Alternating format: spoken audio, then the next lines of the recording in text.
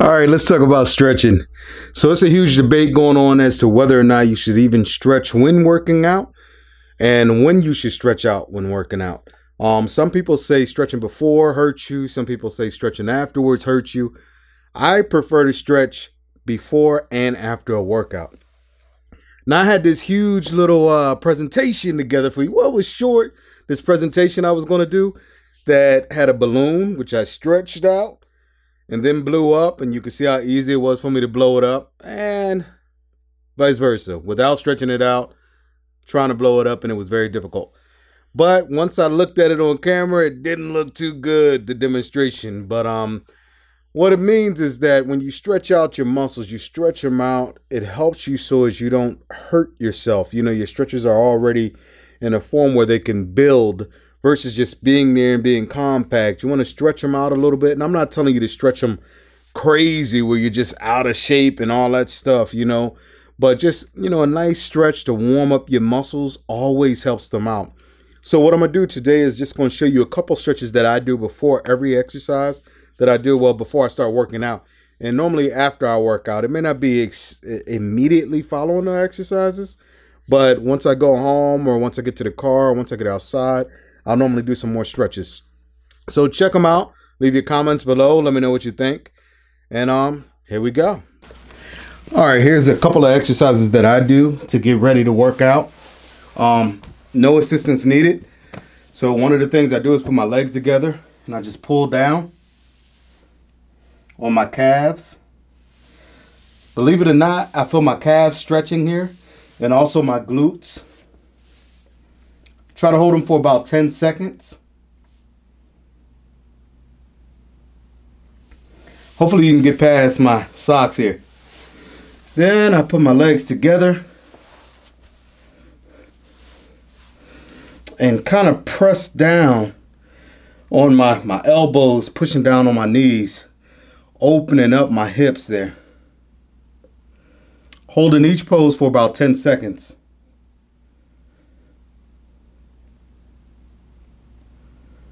Try to speed it up a little bit for you guys. I also get on my knees here. I know you remember this from elementary school. Sitting like on your heels.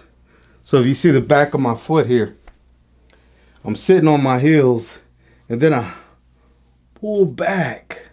So I just lean back a little bit. And what that's doing is taking my quads and stretching them out. So a lot of people ask, do you stretch out the, the parts that you're working on? I normally do. I put a little bit more emphasis on whatever body part I'm working on that day. But I try to stretch out my entire body every time because without that flexibility, ah, the rest is just a waste of time, right? so then I sit here, put one leg in, pull my foot here, take my hand, push on my knee, put one hand back, and I twist. So once again, stretching out those glutes and stretching out that back, lower back, and also getting a little bit on the abs there. And I do it both ways. Pull the leg in, press down here, get a little bit of stretch there. So I'm taking my elbow and pressing down on my knee again. Put my hand here and twist. So I'm pushing on my knee here, pushing to help myself twist. Not over twisting, but just doing it enough to where I can feel it. A good stretch. So then, hopefully you got your bands because I always have mine. I lay down, but I take the band and put it around my foot, the middle of my foot, lean back, come forward and pull. What that's doing is stretching out that glute again, maximus abdominis, like it's stretching it out. So if you have that lower back pain, this will definitely help you out. 10 seconds there. Notice my other leg straight down. Come up. Do it with the other leg. And the reason I use the band is because it'll make sure that I'm not over pulling it, because there's resistance. And pull. Try to keep your other leg down. Pull it. And of course, you do it 10 seconds each time. But for me, showing you guys, this is something I do. It's quick, it's easy, takes about 10 minutes to do.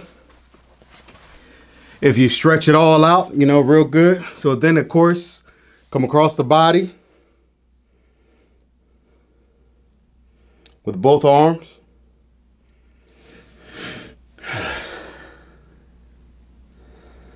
Mm.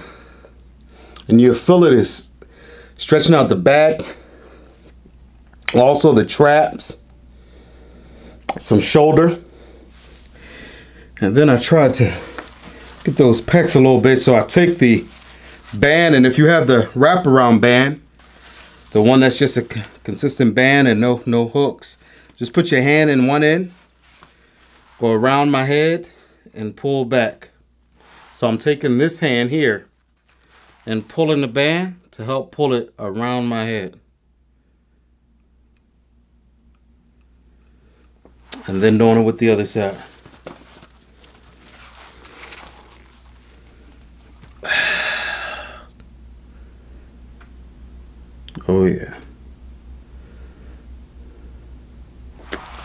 That's just a little bit.